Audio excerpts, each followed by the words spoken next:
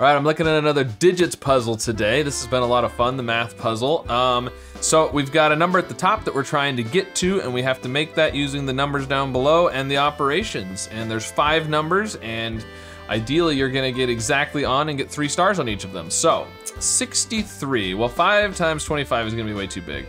Uh, three times 25 is 75, and then we'd have to subtract 12 which would be, yep, so 1 plus 3, 3 times 4 is 12, 3 times 25. There's probably an easier way to do this, but this was the first way I saw, so there we go, 63.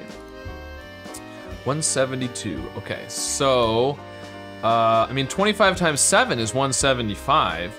Then we'd have to subtract 3, and 15 divided by 5 is 3. So there you go, 175 minus 3. Boom, moving right along. Number three. Ooh, 25 times 11 is 275. Then we would be 24 away. Um, 24, which would be six times four or eight times three. Alternatively, we could do 25 times 9, which would be 225, and then we would have to add 26. 26, 26. Is there a good way to do 26?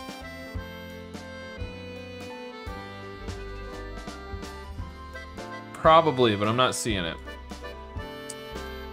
All right, uh, 251, 251. It's not a multiple of three or nine.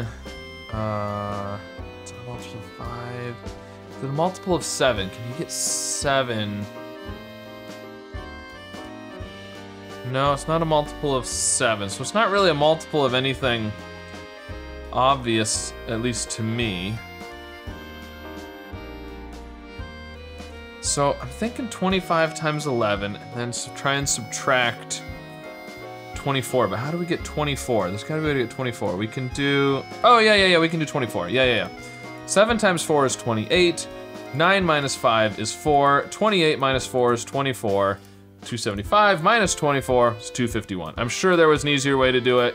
I'm sure you'll let me know in the comments what that easier way was, but that one worked. All right, um, so, I mean, 15 times 21 gets us 315.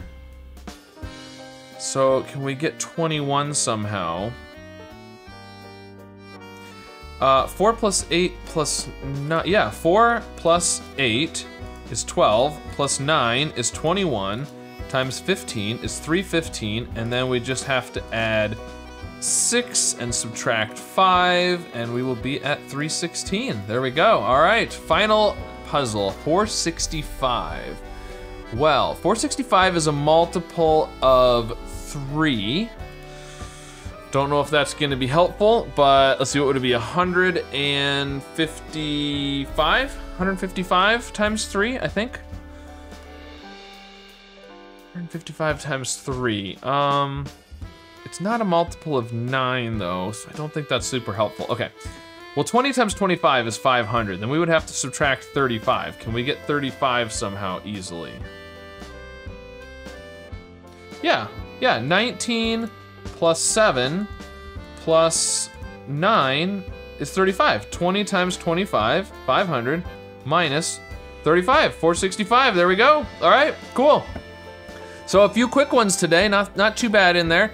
Um, a little struggle on one, but uh, let me know how you did with these today, which one you had the hardest time with, and which one you had different solutions than me on. And of course, be sure to like and subscribe, and I'll see you again soon with some more puzzles. We'll pick a random available seat. Why? Who knows? That's just the kind of thing hypothetical passengers do. Um, that's pretty good. Let's go with that. Wow! No way! Yeah, I mean, either a part or short could be right, or neither of them could be right, who knows? I mean, 20 times 11 is 220, then we would need to add 53. 40 plus 13 is 53, there we go. 11 times 20, 220.